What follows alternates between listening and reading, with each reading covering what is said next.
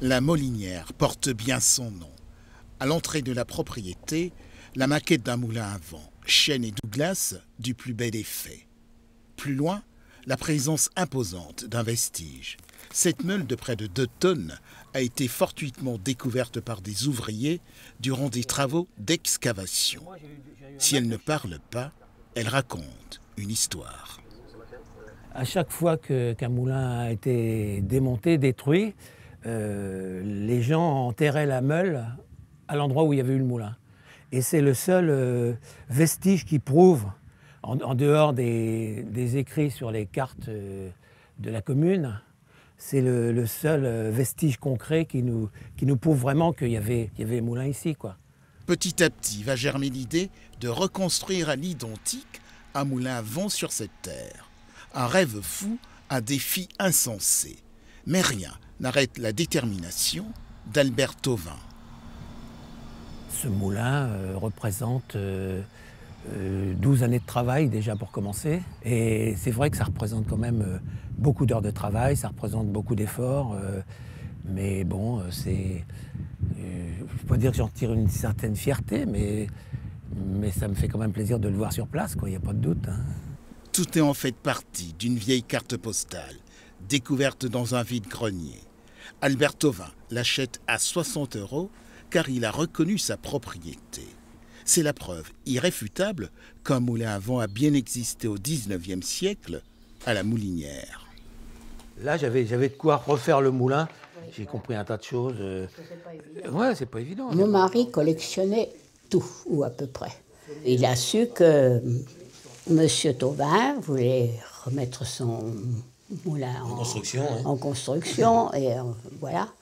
Et alors, il lui a proposé de lui faire fournir les, documents qu'il avait pour qu'il puisse s'en servir, voilà. Quand, quand, Michel Petit m'a dit euh, Moi j'ai les plans, il faut absolument que vous le refassiez. Moi j'ai les plans des moulins à vent sur pivot.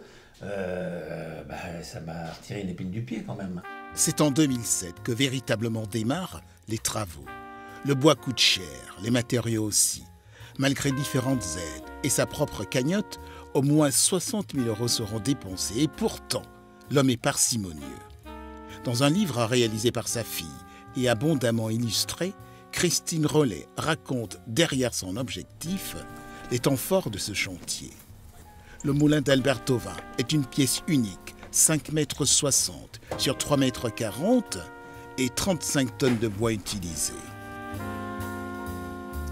Bon alors là on est euh, vraiment dans le cœur du moulin. Hein. C'est vraiment le moteur, euh, le moteur en bois qui permet de faire de la farine. Là-dessous, il y a deux meules. Hein. et chaque meule pesait une tonne 4. Donc c'est quand même... Euh, après, il y avait la toiture, mais la toiture, c'est une partie du bâtiment, donc elle fait deux tonnes. Mais si, c'est aussi une partie qui a été montée du sol jusque là-haut directement. Hein.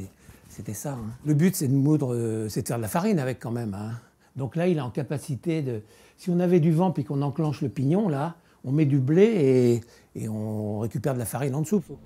À Sauvignan-Sologne, la construction d'un moulin à vent par la volonté d'un homme suscite curiosité et intérêt. enfin, il y en aura au moins et puis euh, bon, il... un vrai et qui marche. Il fonctionne, il fonctionne. Parmi les admiratrices, Madame le maire. Elle a bien perçu pour sa commune l'intérêt patrimonial et la visibilité que ce moulin pourrait avoir dans les guides touristiques. On a beaucoup de chance d'avoir quelqu'un comme Albert Tauvin sur, euh, à Souvigny. C'est quelqu'un qui sait tout faire. Et le jour où il a décidé de remettre, euh, bah, de reconstruire euh, le moulin, tout le monde était enchanté, tout le monde était ravi. On a dit ça y est, un morceau du patrimoine de la commune qui revient. Et donc ça, c'est merveilleux qu'il ait pu faire ça. Et en plus, c'est lui qui l'a construit.